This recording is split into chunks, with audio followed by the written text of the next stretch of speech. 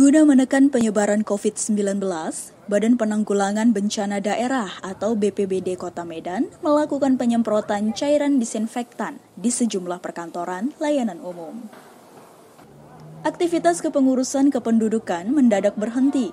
Sejumlah pegawai maupun masyarakat bergegas keluar gedung menghindari diri dari cairan antibakteri yang dapat mengganggu kesehatan. Penyemprotan cairan disinfektan dilakukan di perkantoran Dinas Kependudukan dan Catatan Sipil Kota Medan oleh tim gabungan melibatkan unsur TNI dan pemerintah Kota Medan. Penyemprotan cairan disinfektan dibagi dalam beberapa kelompok hingga mampu menyiramkan cairan antibakteri hingga ke seluruh ruangan gedung berlantai tiga di Jalan Iskandar Muda Medan.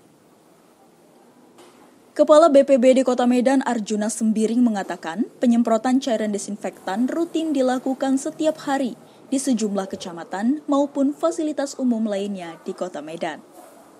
Hampir seluruh kecamatan kita adakan penyemprotan, termasuk penyemprotan yang dilaksanakan oleh kecamatan itu sendiri. Kita serahkan uh, obatnya, mereka yang menyemprot, tapi tetap ada permintaan dari mereka kita hadir ke sana, bantu khususnya daerah-daerah kawasan-kawasan yang besar yang kecamatan agak perlu bantuan tenaga. Kalau untuk lingkungan-lingkungan rumah-rumah mungkin bisa dilakukan oleh kecamatan. Kalau kita turunkan 200 orang langsung kita bisa selesaikan.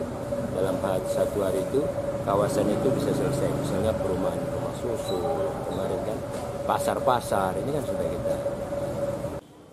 200 personil melibatkan unsur TNI, Satpol PP, dan BPBD Kota Medan dikerahkan melakukan penyemprotan di kawasan pemukiman penduduk, pasar tradisional, dan fasilitas umum layanan lainnya.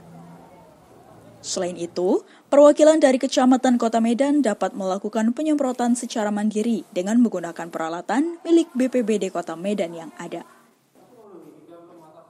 Tim Karya TV, dari Medan, Sumatera Utara.